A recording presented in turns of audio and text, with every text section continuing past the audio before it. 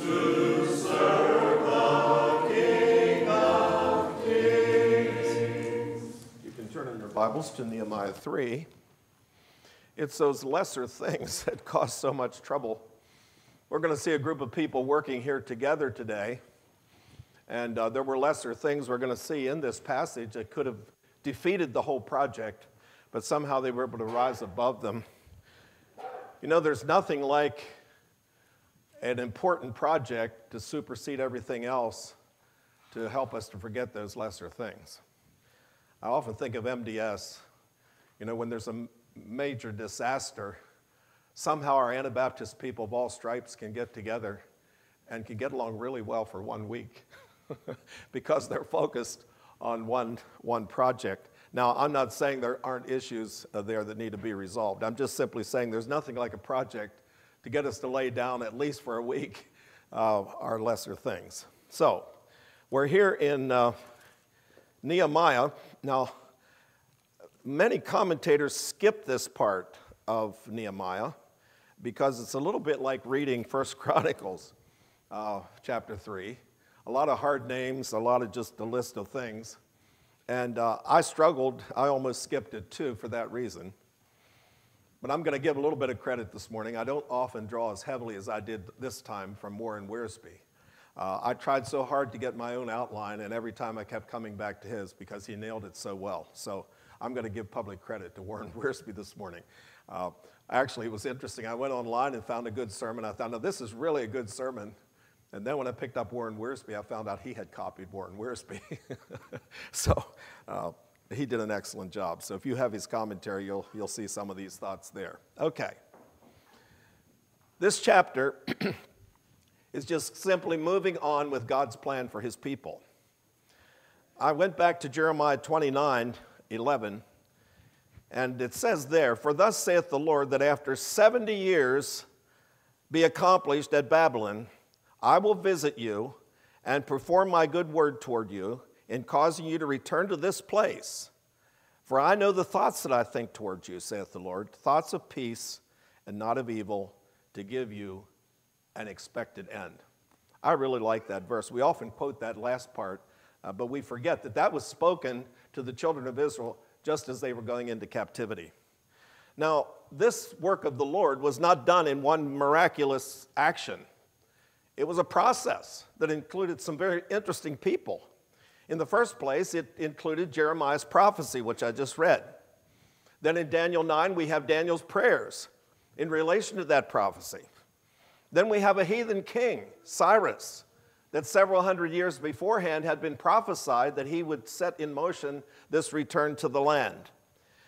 Then we have uh, three returns, uh, and I'll just review them. We've looked at these before, but I'll just review them. The first one, of course, was under Zerubbabel in 536. Uh, now, it's interesting they went into captivity in 586. This is all BC. And if you notice, this is 50 years. And uh, they got discouraged building the temple because they were, had so much uh, opposition. Uh, the people of the land, of course, didn't want to see this happen. And so they wrote back to the king and said, You'll find this a rebellious city. You better deal with these people and so on. And uh, they had sort of quit building. And then they had two people come along Zerubbabel and Jeshua, in, uh, and they talked to the people and they said, Look, uh, the, the 70 years is not necessarily saying that's when you're going to return.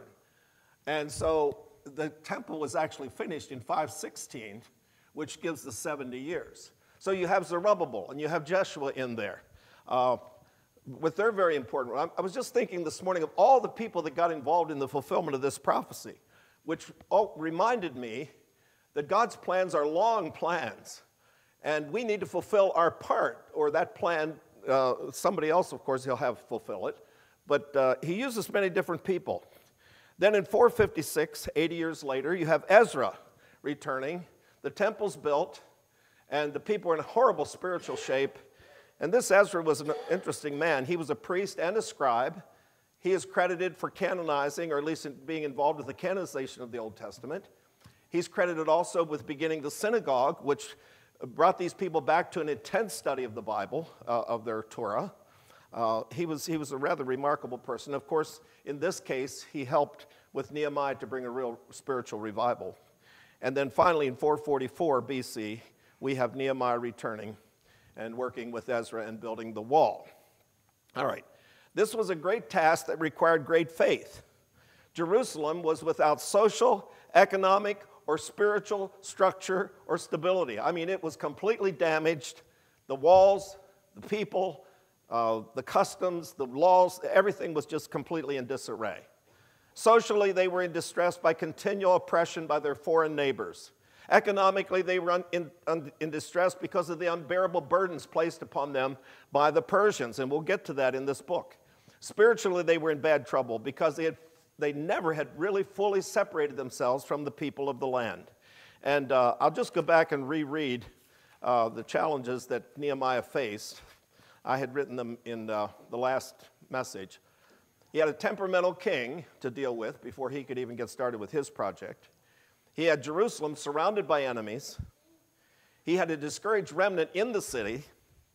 And he had Jewish traders that were working with the opposition outside the city. I, I mean, I read this and I say to myself, Nehemiah, why? You had a cushy job as cupbearer to the king. You had it made, it was secure, it was probably all the perks. Why in the world did you leave that and go back to all of this with no promise of, of uh, success except what you believed about God? Everything looked negative and everything looked difficult and actually look risky. All right, so that's what we have with Nehemiah uh, going back to this land. now, Nehemiah was a true, true leader. He was a man of vision, he was a man of faith, he was a man of conviction, he was a man of action, he was a man of confession. He was, he was just a, a, an outstanding person. He was a true leader. He was a person that you held confidence in that you could follow because of what I just told you. Now, in Nehemiah 3, the vision now begins to take shape the building of this wall. There's some very practical truths in this chapter and that's why I decided not to neglect it after, like I said, Warren Wiersbe helped me see some of these that I probably would have overlooked. So I want to use uh, his outline, and it, it's three words it's the purpose, the people, and the places. Those three things. So let's talk first of all about the purpose. Nehemiah's name is not mentioned in this chapter. I think one of the reasons is he did not want to call attention to himself. He really did believe this was a work for the glory of God, it was a spiritual work. And what was his great passion? Well, if you look through this book, a number of times he talks about this reproach that these people were under. And he understood that if God's people are under reproach, then God is under reproach. And that was an unbearable thought to him that there would be a reproach brought against God by the way his people were experiencing things. Jerusalem was to be beautiful.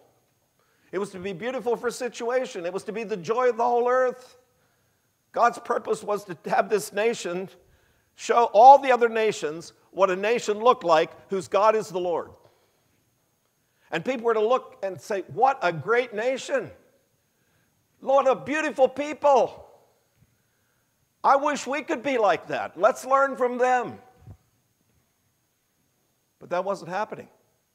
They were under reproach. So, you know, to me, that's when I thought about that, I almost sat at my desk and cried. That's what the church is to be. The church is to be something that everybody's looking on and they're saying, wow, in fact, when I describe what Jesus said, that, or what uh, Jesus talked about in relation to the church, especially in Matthew 5, an equitable society, It's very frequently that someone who's talking to me from one of the billboards, after I get finished with that, there'll be a pause, and then they'll say, Wow.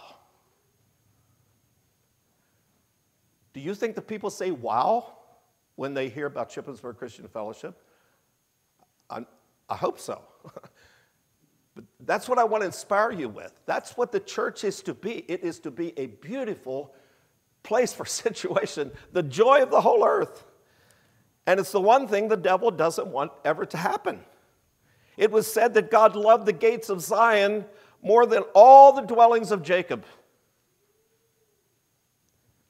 You know, Lynn used to say, Beware how you treat the church. It's the apple of God's eye. This is the crowning work of God, the church. And I think people are pretty careless. In fact, in the past, I'm sure I have been careless we should see this as a gem that we're here to polish and enhance and beautify in every way we can, and every little lesser thing we have must be put aside to give this great glory to God's church. That's the thing I'd like to challenge us with this morning.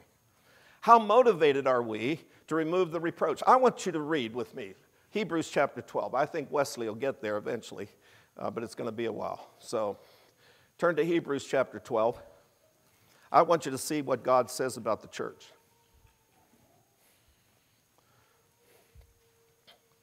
Now, I told you what he wanted in the Old Testament, and it says in verse 18 here, it says, For ye are not come unto the mount that might be touched and that burned with fire, nor unto blackness and darkness and tempest and the sound of the trumpet. You're not come to something like that. What do we come to? Verse 22. But ye are come to Mount Zion unto the city of the living God, the heavenly Jerusalem, to an innumerable company of angels, to the general assembly and the church of the firstborn, which are written in heaven, and to God the judge of all, and to the spirits of just men made perfect, and to Jesus the mediator of the new covenant, to the blood of sprinkling that sprinkleth better things than that of Abel. See that ye refuse not him that speaketh. That is a beautiful, exalted picture, Brother Harvey, of what the church was intended to be.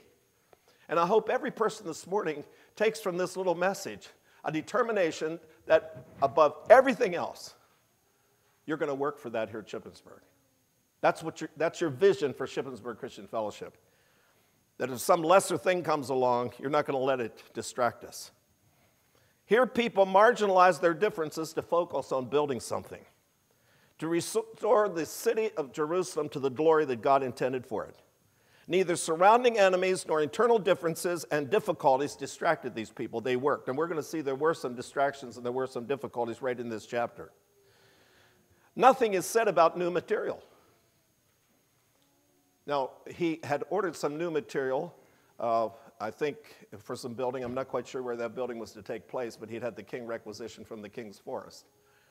But what, what we read in this chapter, there was just enough in the rubble there. It just had to be reassembled, it had been torn down.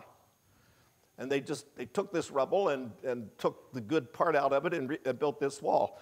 And that said something to me too. If we want to build a, a beautiful edifice for God, I'm not sure how much new material we need. This has been alluded to this morning.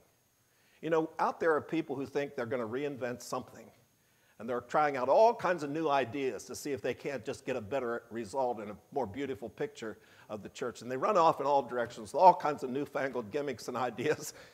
Uh uh-uh. uh My experience is if you come to hear Brother Edsel, the issues that we face today are the very same issues that the early church faced, and as he will be t- speaking, that the Anabaptists faced.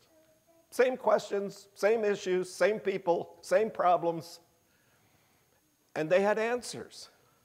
And those answers are historic answers. They go the whole way through churches Wherever you find a faithful group of people, you'll find them applying those very same things and those very same answers to the very same questions. And so we just need to dig in the rubble of history and find out what I call the historic Christian faith. Now, I know Chambersburg Christian Fellowship makes a big thing of this, and it is important. When somebody comes to me with some new idea or some new method or something, I immediately say to myself, where is this in church history? If it's not in church history, I'm not interested in it because there will be nothing new. We go back to the rubble and get away the, the, the distractions and find out the truth from the past. Reproach is not removed by inventing something new. Everything we needed can be found in the work of the past. All right?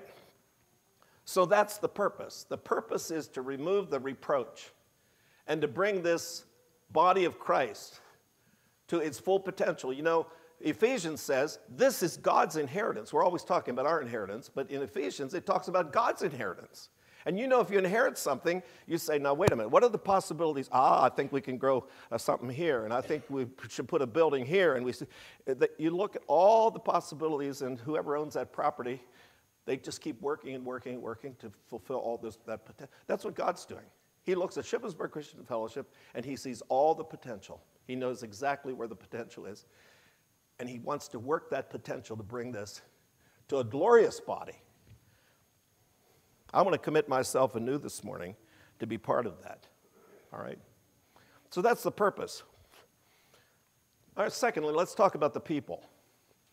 Here again, we're going to find familiar characteristics. People have not changed. You know, people talk to me on the phone and they say, well, well, you, you're following that old book and, and all that. You know, times have changed and people change their ideas and all. And I say, wait a minute. people have not changed. God has not changed. Sin has not changed. Nothing essential has changed. And we see that here. Now, what do we see? In verse 1, we see that the spiritual leaders stepped up first.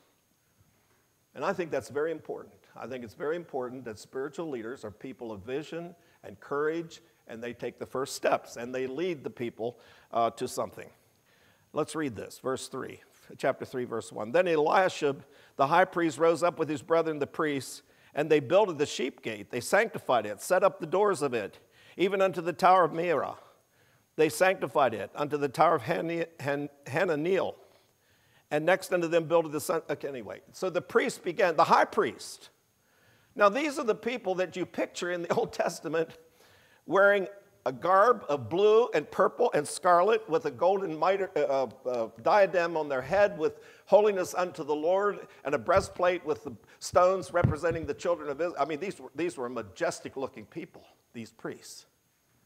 Here they are, digging around in the rubble and laying stones and working with their hands and leading out in this very mundane project because this was important what they did. They built the sheep gate.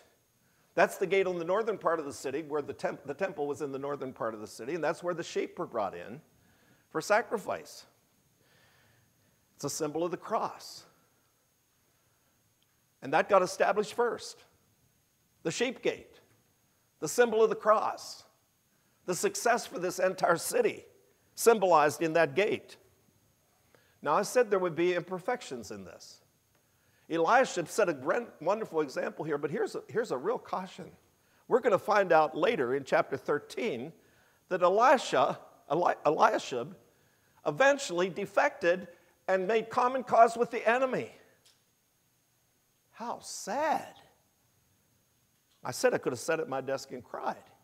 Here's a man that made such a good start, and I've thought of all the people who make a wonderful start. They lead out. They say, Come, let's go. And people start to follow. But it's not the beginning, folks, it's the end. This is not a sprint, this is a marathon, and you have to finish well. But Elisha led out, Elisha led out well. Okay? So the first thing we see here is the spiritual leaders were the people who led out in this, and they consecrated that gate. That's the only gate, by the way, that was consecrated which I think consecrated the whole project uh, because of that consecration. And so we, you, we have spiritual leaders. I think it could be said that no, per, no group of people has ever risen above their leadership. I think that could be said. This is very important, okay? The second thing we see here God uses all kinds of people. You have rulers. Look at verse 9. You have the ruler of the half part of Jerusalem. He was a very, very powerful political figure. He's out there digging through the rubble and laying stones. You have priests, which we've already mentioned. You have women. Look at verse 8. You have, um, well, I thought it was in verse 8. 12, is it in 12? He and his daughters, yes, yes, the girls were involved. You have craftsmen. You have the apothecary, the people that mix medicine and perfumes and so on. That's their, but they're out there digging through the rubble and laying, laying uh, uh, stones. You have uh, goldsmiths. I mean, you can go down through this and you can see a wide variety of people, uh, from the very professional craftsmen and leaders and rulers and priests down to just the ordinary people, uh, all working together. There was a job for everyone. 18 times in this passage, it says next to them or after them. They were all working together, connecting this wall. the third thing we learn is that some people will not work. But you can build a wall if some people don't work. Now, I mean, that's sad. I pity them. They're missing the blessing, of course. But look at verse 5. And next to them, the Tekoites repaired, but their nobles put not their necks to the work of the Lord. They say this is a term related to animals. So they were a stiff necked bunch. We're nobles. We're not going to bow our neck to that kind of labor. We're not going to submit. We're not going to help. They were too proud. The wall got built. the thing I see here is it doesn't have to be absolutely perfect. We should be working toward that, and I guess they should have gone and worked a little on those people to get them to work. But anyway, the wall got built, but you had people who would not help, okay? Jeremiah 48:10 is an interesting verse you might look up sometime. It's a curse upon people who will not do their part. Think about that. If you have a talent or you have something you're supposed to contribute and you're part of this potential God wants to realize and you just don't do it. It's not me that said it. It's God that says it in Jeremiah chapter 48 verse 10. Cursed are people who will not put their shoulder to the work. Jesus did, he was a carpenter. Paul did, he was a tent maker. The Tekoites, by the way, that helped with this wall, weren't even from the city. They were from Tekoa, which was about 11 miles away. They'd have been much safer to stay at home. The danger was in that city. Now, in fact, I think there were a number of people uh, that were from Gibeon, from Mizpah. These were, these were outside the city. They had no uh, particular personal interest in that city except the glory of God. And so they came and got involved. All right? Their loyalty to God was greater than their local interests, and they would have been safer at home, but they risked their lives because they wanted to help remove the reproach and restore the glory of God. The fourth thing we see some do more work than others. And you find this in six different places where it says this, the, this person built another part of the wall. So they got their own work done, and then they went and helped and did more. One man actually built his own wall, and then he helped to build the wall in front of the dwelling of the priest. And so there were some people like that. You know, some people, when they get their job done, they say, Well, I've done my job. These people didn't. These people said, Look, I have my part of the wall finished. Anything more for me to do? and they took up another task. Don't stop after your task is finished. Ask for more uh, assignments.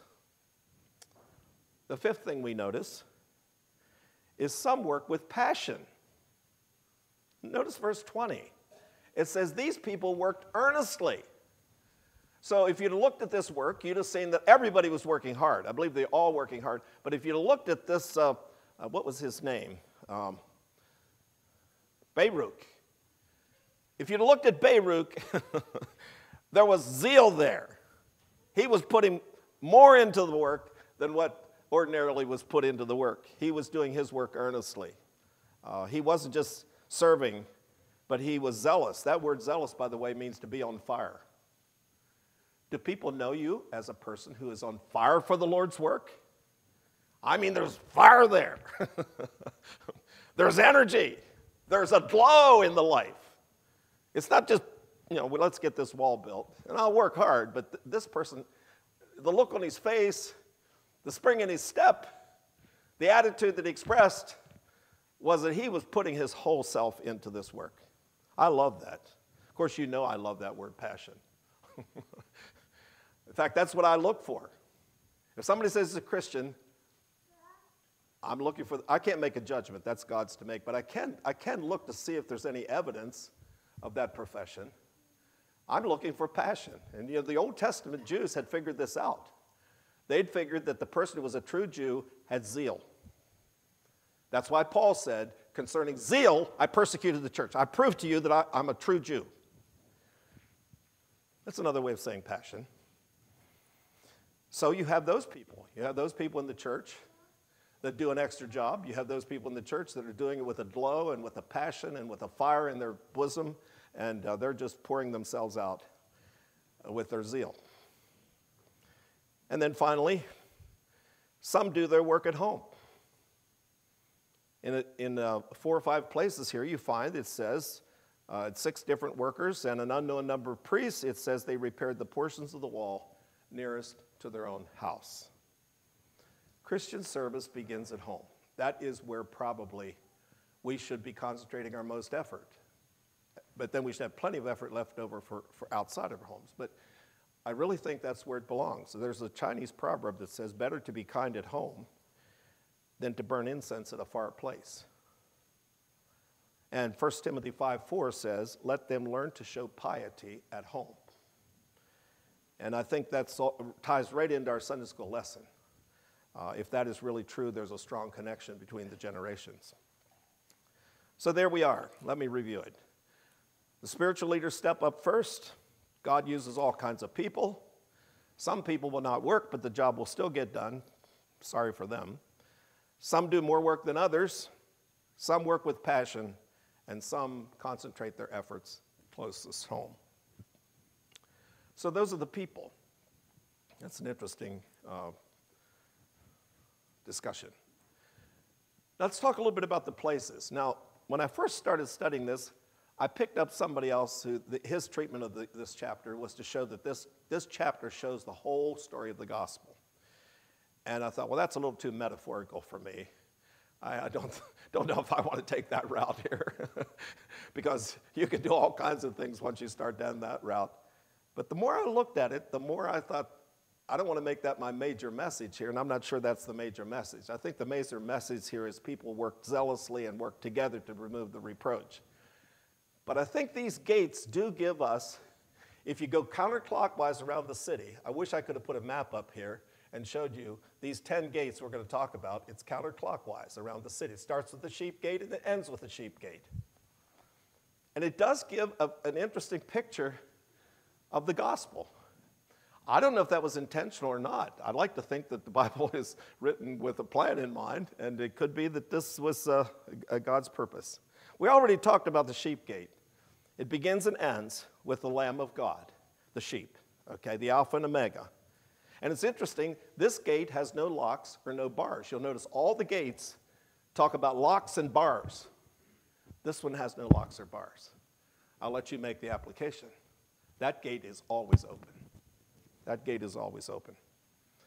So that's a sheep gate. It starts at the cross, it starts at a full surrender to Christ, it starts at a death to self, it starts with a full commitment to let God speak to me and to fully and wholeheartedly, to the best of my ability, obey. Okay? The second thing we have is the fish gate in chapter 3. This is where the fish were brought into the city and you would have had no trouble finding that gate. I think you could just follow your nose and you'd have gotten to the fish gate. But anyway, this was the fish gate. What did Jesus say? Follow me, and I will make you fishers of men. I think the first thing that happens when a person is newly converted and really experiences the fullness of that cleansing experience and freedom experience from all the past, he wants to tell others. I remember when it first happened to me, and I hate to give too many personal illustrations, but I went to the uh, bookstore and bought me a great big pack of tracts and ended up on the streets of Chambersburg every Friday night. Now, that's when there were shoppers in Chambersburg, and passed out tracts. Now, I knew that much about the gospel. I didn't have much to share. But I remember my passion to tell the whole world what I had found. And that's what you find next to the temple gate, or the uh, sheep gate, you find this fish gate for whatever it's worth. The third thing you find is the old gate. That's in verse 6. This led to the northwest section of the city, the new quarter. All right, that's interesting to me. The old gate led to the new section of the city. Jeremiah 6:16 says, "As for the old paths, where is a wait, I'm sorry, where is a good way, and walk therein, and ye shall find rest for your souls." This goes back to what I said earlier. Look for the old paths. That's what I'm always looking for. What was the secret of the Waldensians? What was the secret of the Anabaptists? What was the secret of the early church that conquered the Roman Empire's heart within 200 years? What was the secret of the Moravians? What was the secret even of the Wesleys? And what was the secret of the Church of the Brethren? Uh, uh, places where there was real, what's the secret? What did they believe? What did they practice? If we abandon the old, there will be nothing new. Winston Churchill said that. He says, if you open up a, a controversy with the past, you will find you, lost, you have lost the future. I like that. If you open up a controversy with the past, you will find that you have lost the future. And so, the next thing a person's concerned about is to find the old paths. Matthew 13, 52 says, Every scribe is, scribe is instructed in the kingdom of heaven and brings forth out of his treasure things new and old. I'm going to put in a little plug for Edsall's lectures. I really think you should hear them. I really think we should take every opportunity we have to learn the old past and what happened in the past. There's an awful lot we can learn about historic Christianity. The fourth thing is the valley gate. That's in verse 13. I think that pictures humility. And God gives grace to the humble. So I think that's what that valley gate tells us. Uh, we need to be humble enough to take the old path. All right? Then we have the dung gate. That's in verse 14 of this chapter. Now, that's the gate that exited into the valley of Hinnom, where Gehenna was, where there was this fire burning all the time, and they brought all their garbage there, and it stunk, and it was an ugly place. You did, you, when you went out that gate, I think you walked pretty fast past that section of the city. What does that suggest to you? Getting rid of all the garbage in our lives. That's what it suggests to me. And the next we have the fountain gate. This was the gate that led to the pool of Siloam, which was fed by the spring outside the city that flowed through Hezekiah's tunnel into that pool. That suggests to me the Spirit of God, the fountain gate. Now, notice where we have moved here in these last couple gates. We've moved from humility to cleansing and to the fullness of the Spirit. I think that's an interesting progression. The next thing we find here is the water gate. Verse 26. This is the gate where Ezra stood to read the Word of God and brought a great revival to the nation. So, this water gate to me stands for the Word of God. Jesus said, Now you are clean through the Word which I've spoken to you. I have people calling me all the time on our billboard that says, shackled by lust. How do you get free? I said, Well, a tremendous thing, a tremendous help to me when I was a young boy, especially, and I, have picked it up again recently, and it's such a blessing, is memorizing Scripture. Just fill your mind with Scripture. It's a tremendous detergent. Now you're clean through the Word, it washes out the gunk. Psalmist says, Wherewithal shall a young man cleanse his way? By taking heed thereto according to thy word.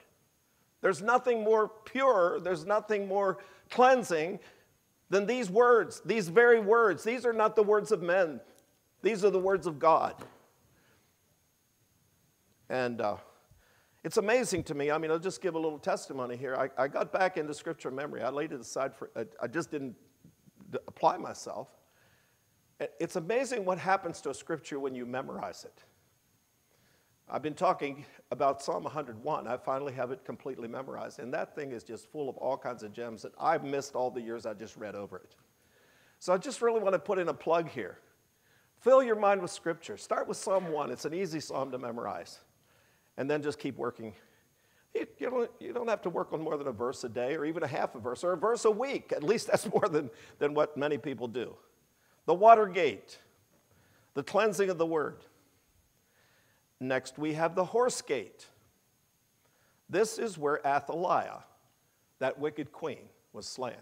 If you go back to Second Chronicles 23 15, you will find it says she was slain at the horse gate. To me, horses picture conflict. They picture war. They picture victory. They picture uh, conquest over evil. it was interesting that the priests also repaired this gate. They repaired the sheep gate, but they also repaired this horse gate, what, for whatever that's worth. Okay? Then we have the east gate. This gate led directly to the Golden Gate, which was the gate of the temple. Tradition says that Jesus entered this gate on Palm Sunday, and many Christians believe that that's where he will enter. Uh, and this depends on your eschatology, so I'm not pushing this. Uh, that that's where he will enter when he returns. So we'll just, you take that and do with it what you want to do with it. Okay? So that's the east gate, where the Messiah came on Palm Sunday, and then you can believe about the future what you want to believe. Okay? And finally, we have the inspection gate. It has a big name there, but it means inspection. This is where the king reviewed his armies and registered his soldiers. That reminds me of the tremendous review that we shall all receive at the end the judgment. I just, th- I just found it tremendously inspirational just to consider those few thoughts about these gates. But it took working together to build this wall and to restore the gates and the remove the reproach and begin to bring forth the glory of God. And the purpose of my message this morning was a call to Shippensburg Christian Fellowship to take this attitude toward what we do here at Shippensburg. It required the work of everybody, the leadership of Nehemiah, the cooperation of the people. And only when we study, and that will not happen automatically, by the way, because there are lesser things that are going to come up, and we're going to say we're going to have to deliberately say no to those lesser things, whether it's a lesser uh, uh, time we spend at something, or whether it's a lesser attitude that we have, whatever, something a lesser thing that diminishes the glory of the Lord that people should be seeing at Shippensburg. I conclude with the example from the geese. We all know they fly in a V formation. And by doing so, they create an upward air current for the one behind them. And they take turns flying in front because that's the hard one. There's nobody there to, to, to give them extra air pressure. So if, if they say, and I never did this, if you watch that formation, that leader will, will eventually come back and somebody else will take the lead because all of them behind get a lift from the one in front. And because of that, they can fly 71% further than they could fly by themselves. If someone is, if one of those geese becomes sick, it goes down to the ground and two geese follow it and stay with it and nurture it and help it until it is ready to go back into the sky. The geese in the rear are the ones you hear honking. I thought they all honked, but they say it's those ones in the rear. I don't know what they're trying to accomplish, but I'd like to think they're trying to say, hey, let's. they're cheering everybody on and encouraging. Everything's okay, folks. Let's keep moving. They encourage. Now, if we are Christians, if we are Christians, what I described here is our natural instinct. I want you to turn to 1 John chapter 3.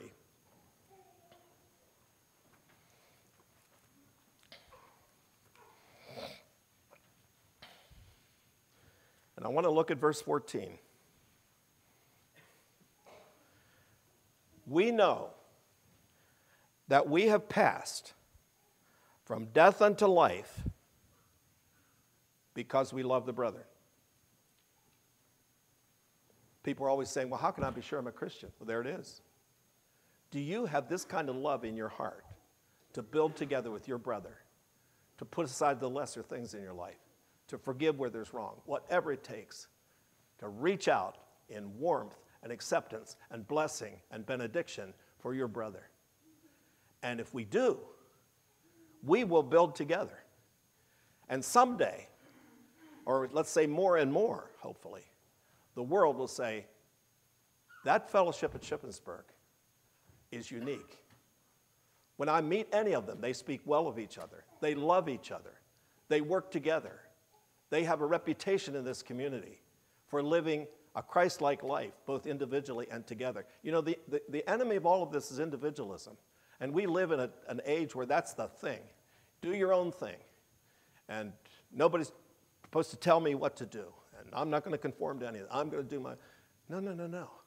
The Bible says the evidence you pass from life unto death, and uh, from death unto life, is that it's your brother. It's your brother where your focus is and an outpouring of your love and help and blessing to your brother.